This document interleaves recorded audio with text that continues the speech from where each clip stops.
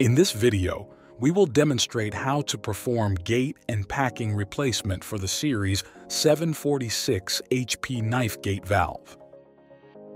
The tools required for this demonstration are as follows.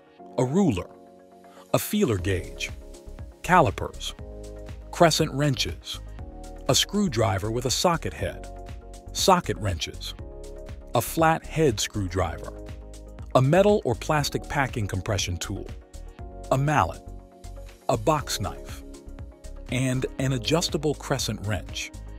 Sizes will vary depending on the size of the valve. Use all PPE required for the procedure and job site. Parts listed in Table 7 of the IOM may wear out and require replacement during the normal life of the valve. These may be replaced on-site by the user with spare parts supplied by Bray. For the purposes of this demonstration, we will be performing both a packing replacement and a gate replacement at the same time. Gate and packing replacement. Remove the gland mounting nuts and washers.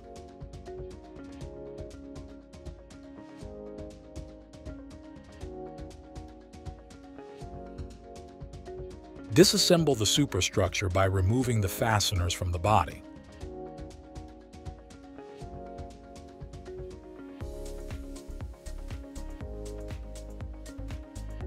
Lift the old gate and superstructure from the body assembly using suitable sling strapped below the base plate of the superstructure. An overhead hoist may be required for larger size valves. Depending on the size, lay the superstructure and old gate assembly in horizontal position and disconnect the stem from the gate by removing the clevis bolts and nuts. Remove the gland mounting nuts, washers, gland, and gate guides. Remove the old packing, part 6, from the packing chamber one layer at a time, using a long, thin tool to pry it out.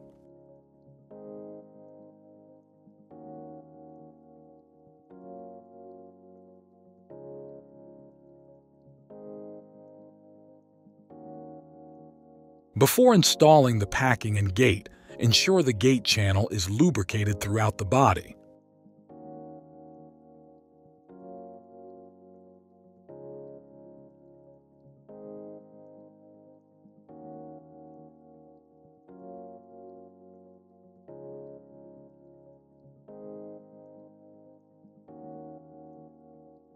Ensure that the new gate is undamaged and clear of any debris. Inspect the new gate to confirm it matches your order. Also ensure that the gate is installed properly with regards to the direction of flow. Generously lubricate the new gate. Install the gate into the body carefully. Install the new packing one at a time firmly and evenly into the chamber before installing the next layer. The end of each layer should meet but not overlap.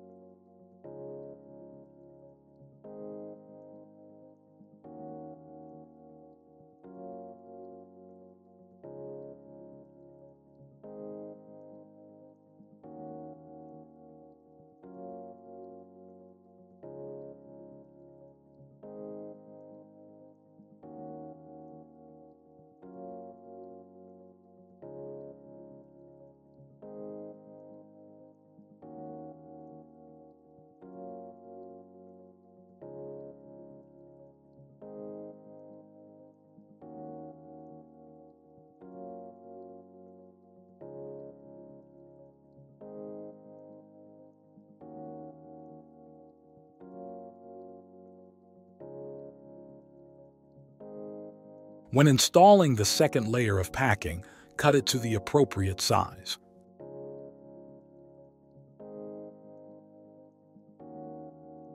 Apply superglue to both ends.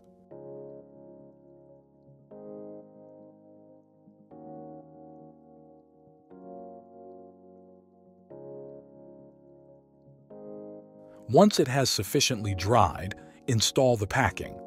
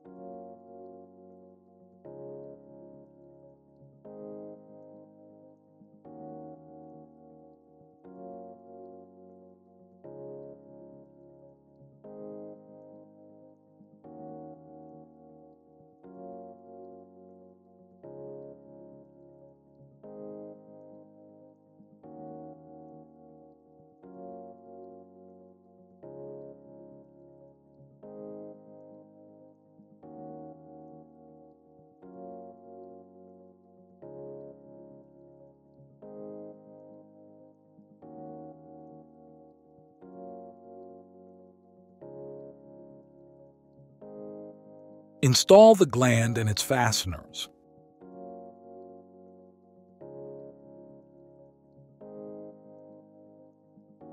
Ensure the gap between the gland and gate is uniform all around.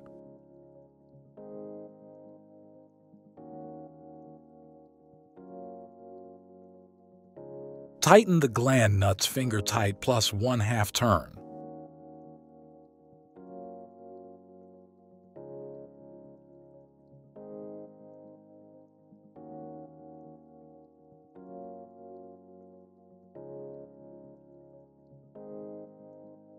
Mount the superstructure to the valve.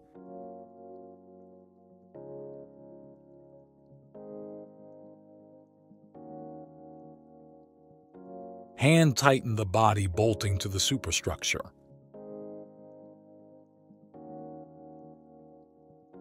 Place the actuator on the superstructure and fasten loosely using the bellows flange.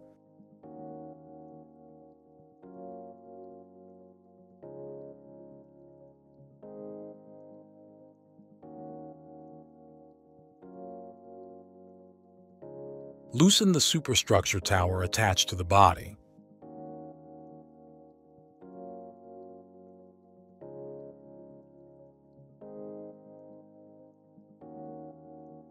Give air supply to the actuator and extend the piston rod towards the closing position. Secure the bellows to the stem using the cry clip.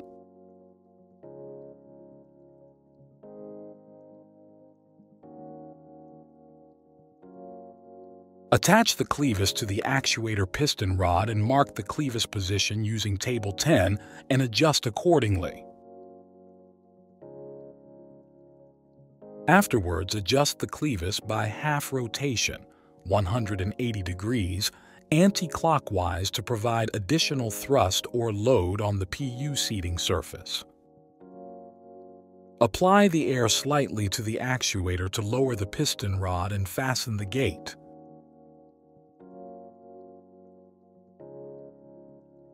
Fasten the clevis bolts and nuts and tighten the lock nut.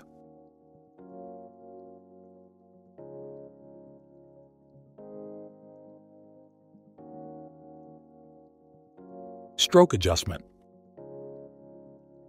In the closed position, adjust and ensure the gate positions from the top of the body according to Table 10.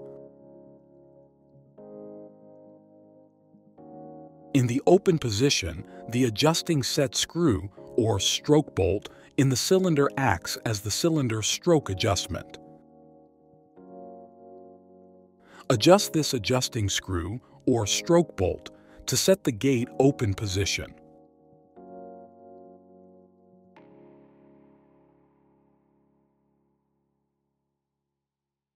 Ensure the whole assembly is aligned correctly according to Table 10.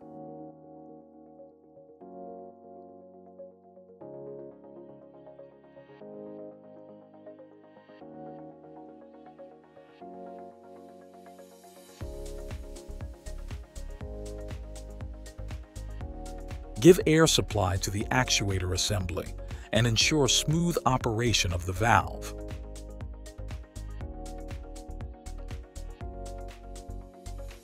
Verify the seating of the gate using a 0.00 2-inch or 0.05 millimeters feeler gauge at the bottom. The feeler gauge shall not enter at any point. Tighten the lock nut. Tighten the hose clip to keep the bellows fastened to the piston rod. Fully tighten the actuator mounting bolts.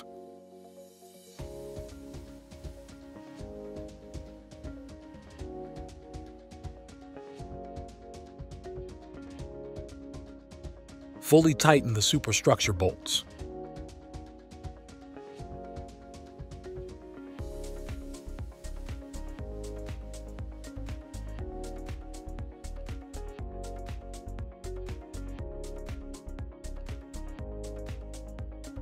Finally, fully tighten the clevis bolts.